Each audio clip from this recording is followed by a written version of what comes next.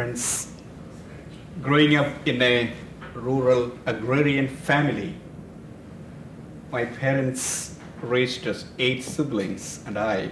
Uh, we are raised very close to nature.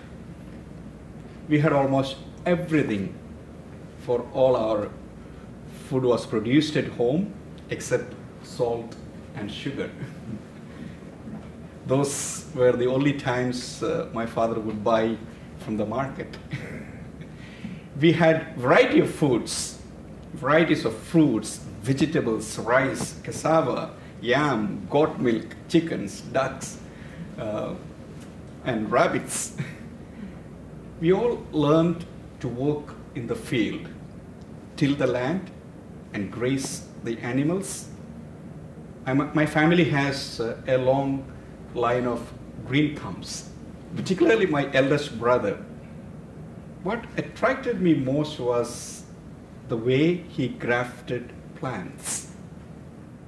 He would take cuttings from the best quality rubber trees and uh, fruit trees and graft them into strong roots.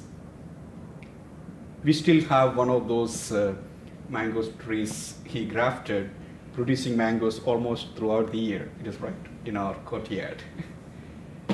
he would often experiment with grafting one plant to the other, but he had to know his trees because not all trees are compatible. All plants are not compatible with the other. And that is why Jesus asked, Do you pick grapes from thorn bushes or figs from thistles? He says, By their fruits you will know them. Our first reading today tells us that God made a covenant with Abraham, a covenant which our responsorial psalm tells us is binding for a thousand generations. St. Paul, in several of his letters to Gentile Christians, tells us that we are like wild olive branches which have been grafted into God's special olive roots because we have believed in Christ.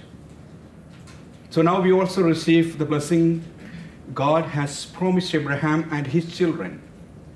When God established his covenant with Abraham, Abraham trusted God fully, and God blessed him and his descendants. And today's psalm reminds us that the Lord remembers his covenant forever. And the psalmist sings, Make known among the nations his deeds. Are we grafted in because we believe in Jesus? Do we see ourselves and our families as part of the covenant? Are we ready to make God's name known to others?